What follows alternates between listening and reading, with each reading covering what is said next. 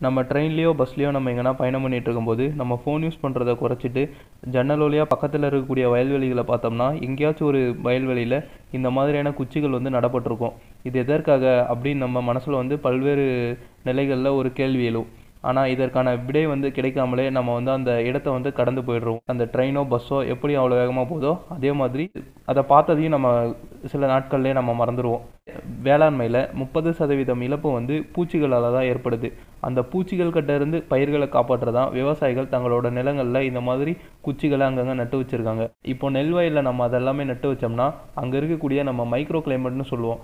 அங்கே இருக்கக்கூடிய குளிர்கள் எல்லாமே பறவைகள் வந்து அந்த இடத்துல ஈர்க்கும். அப்படி நம்ம பறவைகள் ஈர்த்துச்சுன்னா செடிகளில் வந்து பூச்சிகளும் புழுக்களும் வந்து நிறைய இருக்கும். இந்த மதியான டைம்லலாம் பார்த்தீங்கன்னா கண்டிப்பாக புழுக்கள் வந்து செடிகளில் தான் இருக்கும். கீழே எங்கன்னா தங்கிட்டு இருக்கும்.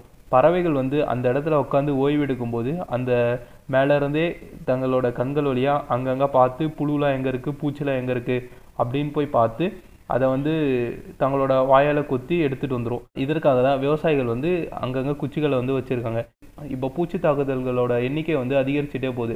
அதுக்கிட்டேருந்து விவசாயிகள் தங்களோட பயிர்களை காப்பாற்ற பல்வேறு ரசாயன மருந்துகளை வந்து பயன்படுத்திகிட்டு இருக்காங்க.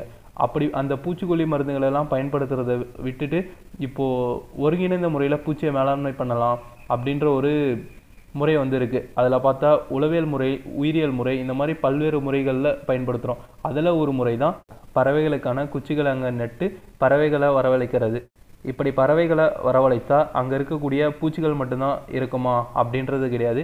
உலகத்தில் வருடத்துக்கு இரண்டு மில்லியன் டன் உணவு தானியமும் முப்பத்தி மூணு டன் உணவுப் பொருட்களும் எலிகளால் வீணாக போகுது. அப்படி அந்த எலிகளை கண்ட்ரோல் பண்ணுறதுக்கும் இந்த பறவைகள் தங்கும் இடத்தை பயன்படுத்தலாம். உணவுக்காக ஒன்று வந்து இன்னொன்று வந்து சார்ந்து தான் இருக்கும். அது பேர் தான் நம்ம வந்து ஃபுட் செயின் அதே ஒன்று ஒன்று இன்டர்லிங்க் ஆச்சுன்னா அது வந்து ஃபுட் வெப்னு சொல்லுவோம்.